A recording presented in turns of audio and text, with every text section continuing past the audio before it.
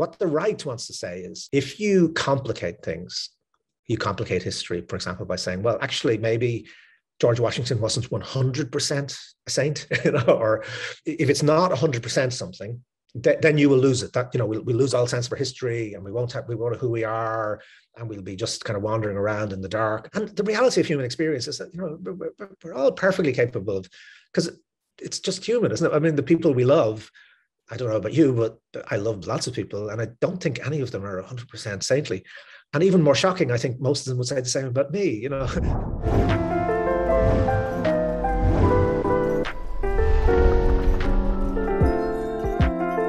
Nice to meet you, Fintan. Where we find you today? I'm in Princeton, in New Jersey. I'm teaching here. So, are you teaching theater or are you teaching, you know, democratic values? I have a fabulous title, which is um, Professor of Irish Letters. Ah. Letters is a really wonderful word. It's like a 18th century man right. of letters. you know? So is that is that Yeats all the way to Brendan Behan? Is everything? Uh, yeah, and also politics or history or ah, whatever, whatever I fancy really. While we're on the subject of Irish letters, which and then we'll segue into American disaster. What is it about these writers coming out of Ireland? You mean the existential uh, dread, threat, gloom and doom? Has it always been gloom and doom? Is it the landscape? Is it the you know nature what and all the politics but what's what is it and and exquisite writing it's a really interesting question isn't it i mean because there's no question that even you know i'm biased in irish so I, I, would say it but but it is disproportionate you know in terms of the impact on world literature i think that the big thing is that sort of irishness decenters everything it, it's a place because of its peculiar mixture of geographical and cultural closeness to the world power you know which was which of course britain the british empire and distance from it and argument with it and and you know being colonized by it and all that no one thing is ever true of Ireland, you know, so that it's both kind of part of white Europe and of the colonizing world. You know, if I was an indigenous Native American and all these Irish people were coming to displace me, I wouldn't feel, oh, you know, they're they're suffering, you know. or if I was an Aboriginal person in Australia, you know, where, where the Irish moved, I, I wouldn't feel much, sympathy for them. But at the same time, you know, it's a place where you had the deadliest famine proportionally in world history. You had this enormous displacement. So it's it's it's just a very very fluid kind of space you know where where almost everything you say the opposite is also true. And so i think just irish conditions create this sense of fluidity and strangeness and ambiguity that's great for writers. You know i read democracy's afterlife which was just a a thing that you had written. It wasn't a thing. It was an incredible article. Yeah. yeah. I'm sorry. A thing is absolutely fine. You saying their democracy, you know, let's say it's it's dying, you know, it's like, you know, we were talking before you came on, Priscilla and I, you know, she thinks that democracy is dying. I wonder whether, you know, it's it, when you're inside a thing, whether one can see what's really happening. There have been times in the American experience where things have been bad before is yeah. this really a unique set of challenges that we're facing or will the long perspective sort of sort it out and it just be another phase in world history you know yeah I think there's a real danger, isn't there, in in thinking, well, we've been through this before and it's been all right, and therefore it'll be okay the next time. You know, yeah. I mean, I suppose what I would say is the paradox is that democracy thrives when it's most conscious of its own extreme fragility you know yeah. uh, i don't know who was a, said something about you know nothing concentrates the mind more than the prospect of being hanged in the morning you know and yeah. if, if democracy is not aware of its own imminent death it becomes complacent and stale and and corrupt if we don't think about it as a sort of daily struggle for survival and and a, a struggle that kind of needs every one of us, you know, that actually needs our active participation as citizens, then it will go. You know, we're all old enough to remember the hope of 1989, 1990, you know, the sense that actually the world had changed and democracy in our sense was going to become the kind of gold standard of the world. And i think there was an enormous complacency that that sort of set in around that. And i think it was a complacency around two things. I mean, one around can you have democracy with, without at least a progress towards economic equality you know, I don't mean absolute equality, but but a sense that our feeling of belonging, as of shared belonging, has some kind of economic reality to it, and also on the other side, the necessity for democracy to be kind of constantly questioning itself. You know that like that that's really what democracy is, isn't it? It's an endless process of questioning, and and if you get into the sort of mindset of institutionalized control, you know, where politics becomes a professional bureaucratic matter for people who who make their life out of it, that can't survive. And and and I, th- I, think both of those things have been coming. I think there's there's a price to be paid for having greater and greater economic inequality, and there's a price to be paid for having a kind of professionalization of politics as a matter for lobbyists and careerists and institutionalists, you know. And one of the things I really like about America, you know, when I, you know, coming here from Ireland and from abroad, and I've spent a lot of time in America, but, you know, there's an incredible vibrancy to civil society in America, you know, and maybe Americans take it for granted sometimes, but it's it's the one thing that really gives me enormous hope you know is is americans have this sense of involvement you know of, of, wanting to be involved. And you see it, it, you know disasters seem to bring out the best in americans you know but you see incredible capacity to rally around to help people to just get out and do something. The question is why can't that translate itself you know into into higher politics you know? But it it does give me a certain kind of hope in, term, in terms of thinking you know this thing is not going to be dead so long as you still have that capacity there for for people to to feel that they can respond and that they can they can shape things but they have to be able to feel that politically as well as in in ordinary kind of social engagement. I love that you said you know people need to understand it's a daily struggle certainly this idea of democracy but that also means you have to have an understanding of what democracy is or could be. Are there political divides where there's an inclination towards a vibrant, healthy civil society and discourse and critical thinking and pluralism and different ideas? And do we see that even within the United States or your observations? I mean, I would say to just state the obvious that you know, one of the, the great problems for the United States has always been to make democracy inclusive. So for a start, you know, to actually have a sense that it's not white democracy, you know, it's not Protestant democracy, it's not, you know, and that historically, you know, so many people have been excluded or marginalized or argued over as to whether or not they're entitled to full citizenship. You know, it, it, of, of course, that's particularly true of the descendants of slavery, but Native Americans, lots of immigrant groups, including the Irish in their time, you know, who are now a kind of very established mainstream American group, but they were despised immigrants once, you know, because they were Catholic, particularly, and they were poor and they were unskilled and uneducated. You know, they were they, they were out, they were real outsiders at one point. And so you've had this kind of continual process of trying to define who's us and to have a sense of America that's that's capacious enough to give everybody a sense of of of, of having an equal standing within it. You know, and I don't like being partisan about this, but I do think a very particular thing happened to the Republican Party in this century. You know, and I think you can get a sense of it if you just go back to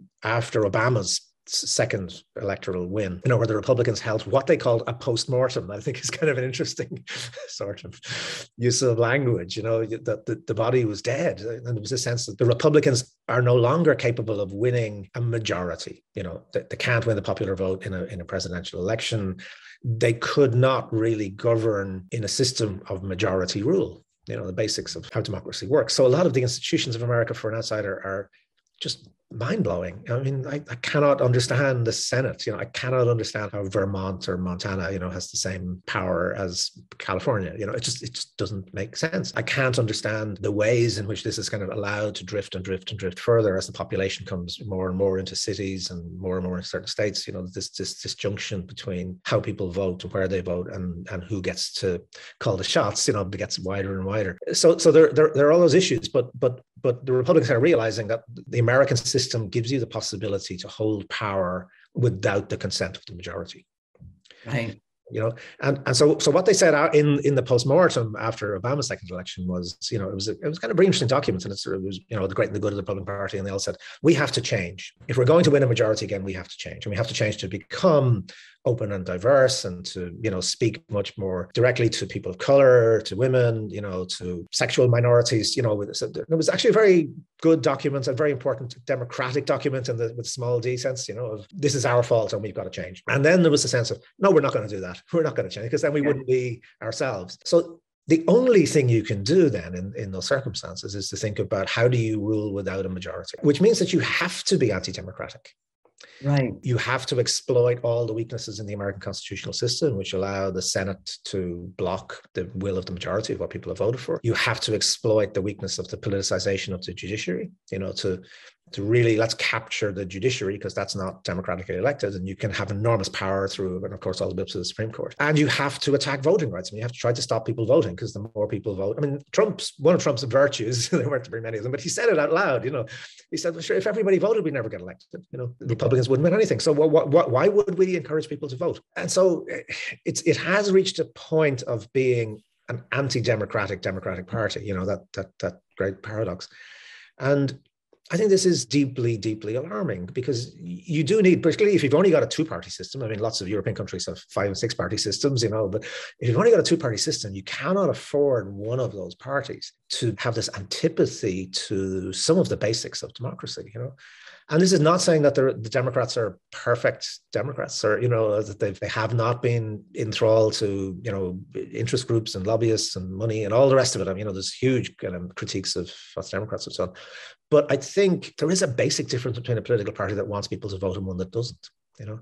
Yeah. and we we saw in the you know in the trump's attempted coup i think america was just saved by the skin of its teeth by the existence of decent republicans you know at state level who said no we're counting the votes. And you know it, it, this should not be the case right? But, but why is it not alarming to some so the, so yes we're all here i'm alarmed jesse's alarmed you're alarmed like why this to me is the question. There's a lot of people probably half the country that did not think there's anything wrong with what's yeah. happening. Yeah. So that is the problem. And so is that an education problem? Is that system like how do you solve for that problem? Because like you said, it's we're perilously close to the end of something. Well, and, are, are we perilously close to the end of something? Well, I suppose it feels like you you could be. I mean, the things that would have seemed utterly ridiculous five, six years ago, you know, or have, have happened, you know. Mm, it doesn't mean they're not still ridiculous, though, you know. It doesn't, absolutely, it doesn't. But, but, you know, Trump did attempt to stage a coup. I mean, you know, the American president really yeah. tried to set aside an election and put enormous pressure you know, on his own vice president, for example, not to certify the election. I mean, he's um, still calling it, Jesse. He's still, still calling it. Yeah, they're still but, claiming but, this. You know? But you know what what about you know do we see you know some of this same issues in brexit where it's like you basically have a country tearing itself apart ultimately who did brexit benefit in the end yeah, you know yeah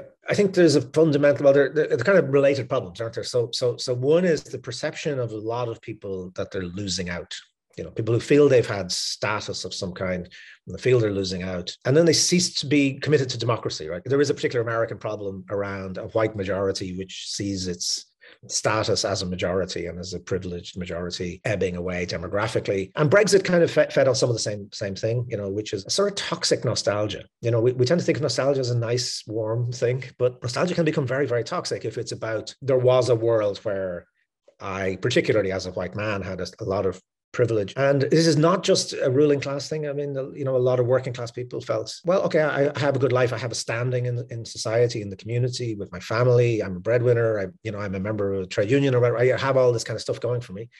And if you see that ebbing away, I think you're, I think you're, you know, understandably in a way, kind of very vulnerable to this appeal. And then that's on the one side. On the other side of it, you have, I think one of the things that's common in America and in Britain is a kind of anarchic ruling class, you know, complete paradox, you know, contradiction in terms, but where you get these reckless ruling classes, you know, where, where they're different in one way, but in America, I think it's because of the Tea Party stuff and all that, you know, the, the realization that actually you can't lose by by going low and then lower and lower and lower and you know appealing more and more to to the base and to nasty instincts. And and then in britain i think you had a kind of there's an extra factor there which is historical ruling class that was a world ruling class a world power you know empire and all that stuff. And what does it do when it no longer has all of that? It can either settle down and think great we're in, we're modern normal country you know? What's wrong with being normal? But the thing that both america and britain have in common is this sort of obsession with greatness. And greatness it, it, sounds like a lovely thing but actually it's a it's it's really toxic you know because it means you can't be like everybody else. This sort of exceptionalism then kicks in. And that what happened with brexit you know the sense that it's not good enough for britain to be equal to germany and france and italy and spain. That's that's an insult to us.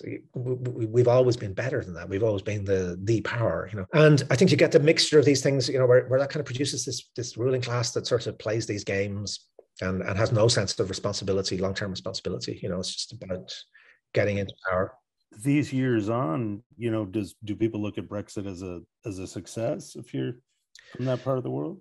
I mean, it's it's it's it's it's really bizarre. You know, like the stuff that people like me said would happen, and we were told, "Oh, come on, that's absolutely ridiculous." it's all happening. I mean, there are empty shelves in the shops. You know, right. they can't get truck drivers, just a simple level, right? Because you know, well, there's the COVID is obviously a factor as well. And I think this is one of the things that's kind of saving Boris Johnson is that it's mixed up in people's heads as to what part of this is the responsibility of the pandemic and what part of it is the responsibility of Brexit. And it's genuinely hard to disentangle these things, right? There isn't in the real world. But you know, you, you they know truck drivers because most of the truck drivers were from from European countries and they're very much in demand and they don't they don't feel they don't feel welcome. You know, that this kind of xenophobia really does get to people actually. You really get to feel, well, okay, if you don't want me here, I, I have choices. I can go somewhere else. But also, if you were a truck driver, it's not really well paid. It's, it's a pretty awful job. And then you're expected to be a customs expert at the same time. So it's bad enough, like I have to drive this load of fish from here to here, you know. right. But like to say, eh, eh, I mean, you're like with a load of fish, like you, you might literally be talking about 70 documents.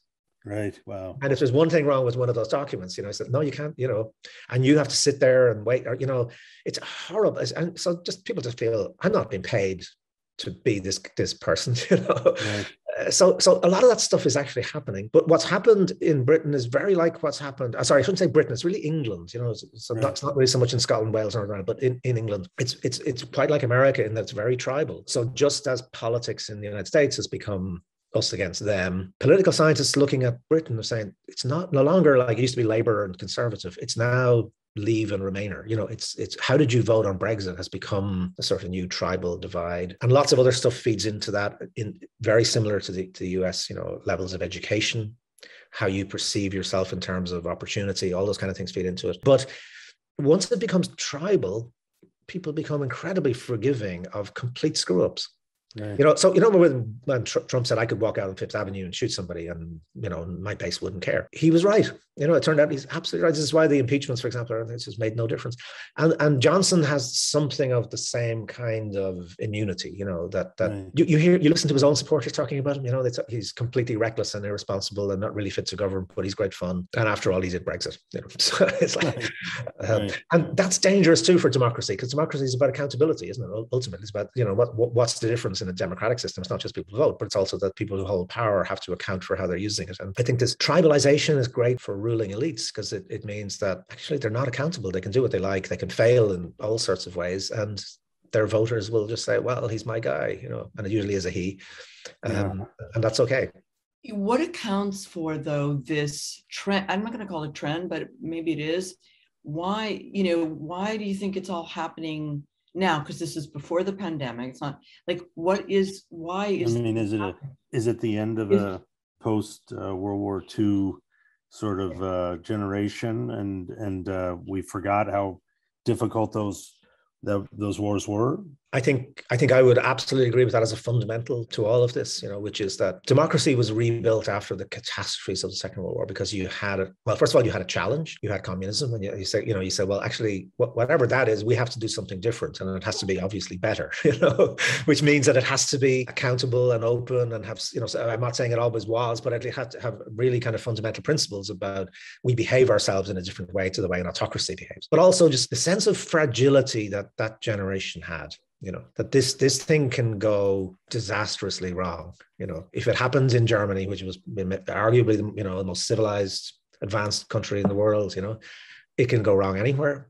And and there are no assumptions we can make that are permanent if we don't fight for the thing. But also if if if people don't have a stake in it you know like the, the disasters of the the, the 19 30s came from the Great Depression and the fact that you had large numbers of people who felt they hadn't got a stake in society anymore. I think that's absolutely one of the kind of long-term forces as to why this this came to a head when it did and then I think you can't rule out both the, the banking collapse and the and the responses to the banking, the great banking disaster. The, the, way in which governments dealt with that, I think, was really, really serious. I mean, loading all that debt onto ordinary taxpayers, I think, I think had a really serious effect in terms of saying government is not for us. It's it's it's for you know, it makes it very credible to talk about the elites and all that kind of very populist kind of talk. A third factor is actually quite positive, which is, and again, I don't want to sound like Pollyannish, you know, about everything is great, but uh, some of this is you know a response to things which are really good which is the discourse has changed around LGBTQ people, for example. There's been a backlash against the backlash against feminism. You know, I mean, the,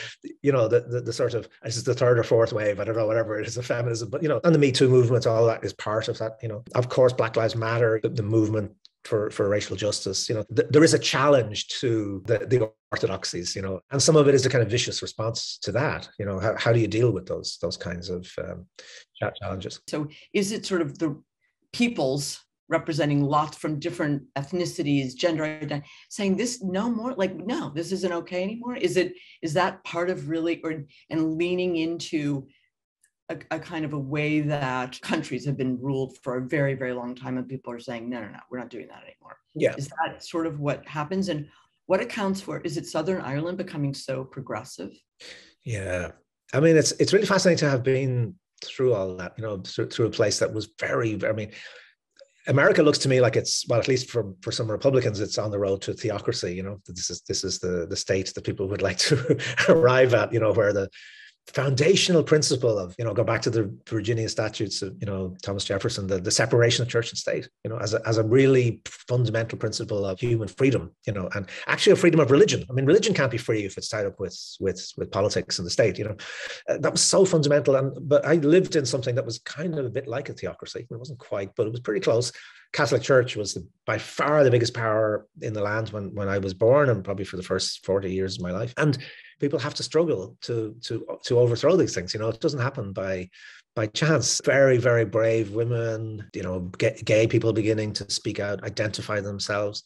A, a, lot of this really just happens with people saying, "Hold on a minute, I'm here. I'm a real person." You know, because of course all these systems are so fundamentally hypocritical. You know, they make claims about themselves. You know, in terms of their purity and of being better than everybody else and being exceptional, and you know, and and and of course they become corrupt because they have too much power you know, I know it's an awful cliche, but absolute power does corrupt absolutely. And we saw that with the Catholic Church in Ireland, which was one of the most powerful institutions of its kind anywhere in the world. You know, it had absolute control over public discourse, over people's minds, and a lot of temporal power. And it's it collapsed within 10 years. I mean, it's just, you know, it's just gone as a as a political institution. By the way, there's nothing to do with religion. It's nothing to do with actual religious belief, you know, which I respect hugely. But as a temporal institution, an institution of power, it went. And yeah, I mean, it went because people challenged it, and and it, it took a lot of courage for a lot of people to challenge these these consensuses, you know. And I think the same thing has happened in in America. You know, it's happened happened around the world. But institutions will fight back. You know, power structures will will fight back, and they'll they'll they'll use any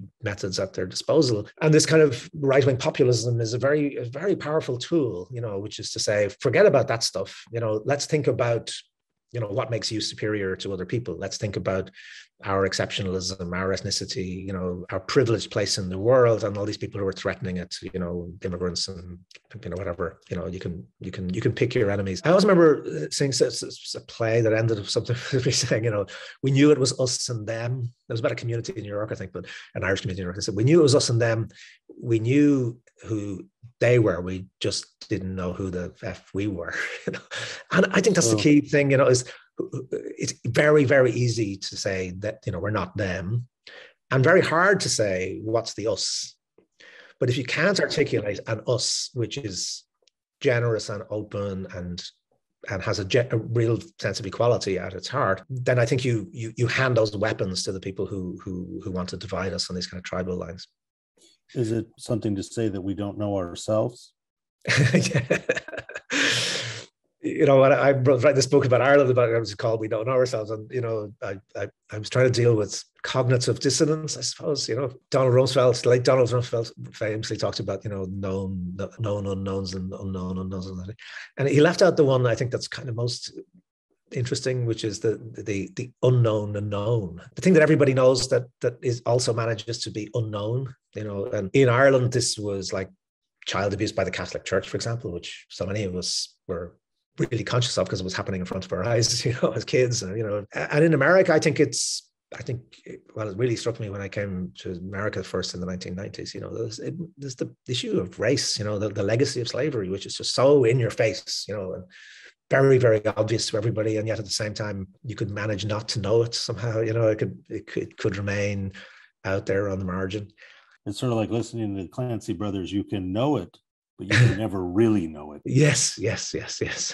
There's a difference between knowing something and acknowledging it. You know, and acknowledgement is a public collective process you know where, whereby we accept all of our history and all of our identity in you know in all of its complexities and, and ambiguities and i'm a sort of optimist actually because i think one of the funny things about our particular moments in history is that although politically these forces are very, very adept and very successful at the moment of sectionalizing and tribalizing and saying you have to be one thing or the other, you can't be both. Actually, if you look at real life, I think you know overwhelmingly people are increasingly comfortable with with multiple identities you know with a sense of belonging which is which is much more capacious you know we live our lives with with lots and lots of senses of who we are and how we connect with other people. And, and and they're not in conflict with each other. We can seemingly add an almost infinite number of them you know without going crazy. And and what the right wants to say is if you complicate things you complicate history for example by saying well actually maybe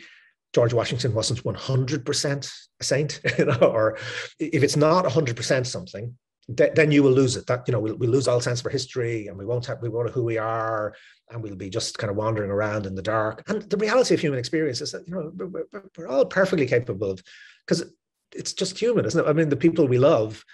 I don't know about you, but I love lots of people, and I don't think any of them are 100% saintly and even more shocking, I think most of them would say the same about me, you know, and we're perfectly capable of having really, really healthy, warm, loving relationships while knowing little parts of our mind that actually not everything is perfect or that things are complicated or there, are ambiguities. I think, you know, if you look at one of the great things that happens in, our, in human history of the last 20 years is more and more people have been able to say who they are. You know, if you remember that you know, when, when, when Barack Obama ran for the first time for the presidency, he ran against gay marriage.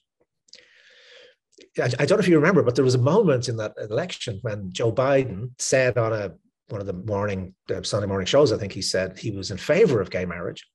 And this was treated as a gaffe. I, remember, you know, there was all this kind of narrative about Biden was always putting his foot in it and saying stupid things. And the entire narrative around Biden saying, you know, actually it was very good for human dignity if if, if people of the same sex could could have the right to marry. It was oh another Joe Biden gaffe, you know. Yeah. And and and even seven or eight years later, like you know, the discourse around that had changed so fundamentally. And in my country, you know, in Ireland, like where where I mean, homosexuality was illegal. I mean, the laws under which Oscar Wilde was sent to prison were still in place in Ireland in the 1990s, the early 1990s. And yet, like just a couple of years ago, Ireland became the first country in the world to create same-sex equal marriage by popular vote. I mean, it, it happens either by you know legislatures or by courts doing it, but we had to have a referendum. I mean, an actual popular voter because that's the way our constitution works. And you know, it was like 66% of Irish people voted for, for equal marriage, you know. So I think we can some sometimes get too depressed and say, you know, everything has gone in one direction, which is which is downhill. I think there are also kind of extraordinary kind of democratic changes which have been taking place underneath all of that and, and as part of it. And actually give, given a choice and given a chance, most people are still pretty decent. You know, if things are put to them in human terms, you know, what happened in Ireland was that the way that discourse just changed was people coming out. I mean, literally coming out and saying, "But hold on, you know, I'm I'm I'm a lesbian. I'm, I'm in love with this woman, and we want to have a child." Oh, but oh, you, oh yeah, but yeah, like you're my neighbor. You're, you know, you're the one who works with my sister. You're, you know, you're a person suddenly. Whereas before, you know, and what all these systems try to do is to demonize and dehumanize people, and you're you're a kind of you're a category. Um, that's a that's a threat and a danger. And and and once once people see other people as human beings, actually, the decency is still there, I think. and the, the challenge is how do we how do we translate that into into political institutions? You know, when you read something like uh, Borstal Boy, you know Brendan Behan's great uh, book, do you look at look back at that as almost a romanticism of a a certain period? You know, because talking about prison in that book, and you know that doesn't resemble prison now, right? Like prison now is a dark, terrible force. He went there almost yeah. like it was he was visiting his friends, you know. Yeah. I'm really glad you mentioned Borstal Boy because I, I think it's a great book and it, has been kind of a little bit forgotten. You know, I don't know if people know it, but it's it, Brendan Behan, the Irish playwright. It's, it's an autobiographical book about the time that he spent in a reform prison in in England. And, I mean, this guy was a terrorist. I mean, that, that's you know, like it's it's an extraordinary story because he he was a child terrorist. He went over to plant bombs in England for the IRA at the beginning of the Second World War, when God loved them, the English had enough problems, right? They were being bombed by the Luftwaffe. You know, they didn't really need a kid going over to try to blow people up. And fortunately, he was arrested, you know, and, and the thing that really screwed him up, right? So he was a classic kind of, I hate these people, I'm going to kill them, you know. And the thing that really screwed him up is that he was actually treated with, you know, decency and kindness, you know he was very lucky. If he'd been a bit older, he might have been hanged. You know, this was wartime, and you know, he, it was a capital offense. But because he was 16, they, they sent him to a kind of reform school. You know, and then what really screwed him up was he fell in love with an English guy. You have to read between the lines a little bit in the book because it was of its time, but it's very clear that you know this is a kind of love relationship. He he, he really falls for this guy, and, and it's mutual, and it's a beautiful relationship, and it, and you know, it's but it's this idea of I have these political ideas in my head which are very destructive and violent, and then they really kind of mess, me up by not being the caricature I had of them and, and by treating me with some decency, but also then this kind of intimacy of, of connection and love and, and, and a relationship that's formed. And I think that's why it's such a fascinating book, you know, because, because it, it, it, it has these two things going on at the same time, the big politics of it, and then this kind of intimate relationship. And it really raises for us, I think, those, those big questions about why are we capable of extraordinary kind of compassion and generosity and openness in our personal lives and you know in, in the way we relate to each other while at the same time being capable of quickly dehumanizing people right? So so this is a guy who on one level would have put a bomb in a pub to blow up you know somebody and on the other level can fall in love with them you know? And that complexity i think that he gets i mean i again it's very shocking coming from outside into america just how punitive american society is you know and I don't know whether this comes from a Wild West culture or something, you know, but this lust for locking people up, for throwing away the key, for dehumanizing people. God knows, I'm not saying prisons are nice places in Europe, but but some of the prison conditions in the United States, I mean, you know, would be regarded as human rights abuses um, on a, on a large, very large scale in, in in most of Europe. That fed into, I suppose, the response to 9/11. You know, let's go and punish somebody, whether or not they're guilty. You know, Guantanamo and let's go to Iraq and punish somebody else there. You know, this sort of idea of retribution, which is is not unreasonable in, in terms of 9/11. Uh, you know, I, I, I, absolutely understand the the desire for vengeance and the desire for some kind of order to be reimposed, but it, it, it becomes toxic because it, it, it has no purpose in the end. It has no point. You know, you you you end up punishing people who are not guilty, and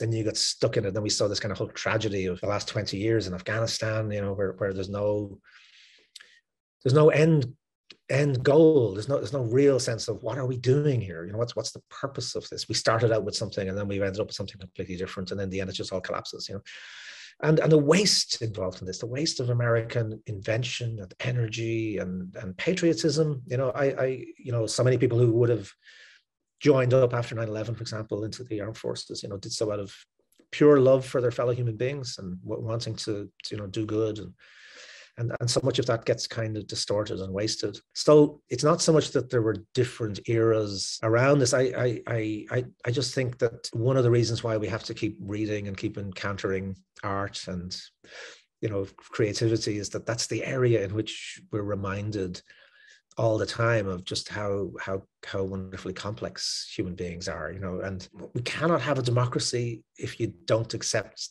complexity you know? And and if you don't read and you don't encounter art and you don't watch movies and you don't you know go to the theater or whatever you know the diff- i'm not saying there's all sorts of different forms in which people can encounter this but that's that's really what artists give us you know isn't it? That that that sense that actually real life is slippery and complex and and it's not a bad thing. It's not something you have to run away from and hide in these kind of ridiculous simplicities you know? It, w- w- once we make the world binary we start to kill it, sometimes literally. So, Fintan, you have given us so much to think about, but most importantly, you have the slightly optimistic, my favorite phrase. You're slightly optimistic. Jesse's absolutely optimistic. I'm totally pessimistic. Yeah. Um, but no, with a little bit of optimism. But I think someday maybe you'll come back again because I my roots were in the theater. So someday I'd love to talk to you about about theater and its relationship to you know politics and and and I love that we're ending with people don't forget to read watch go to plays you know you yeah. go and see things that where artists are showing us things that allow for a little bit of imperfection because that's really that's really what we're talking about and not to be such an ideologue that we have to allow for shades of gray i hate to say that but that is what we're talking about. Definitely. Um, thank you so much. Yeah, thank you a so much for being here with us. It really, really was a pleasure. Well, it was a joy for me and, and really, really lovely to talk to you both.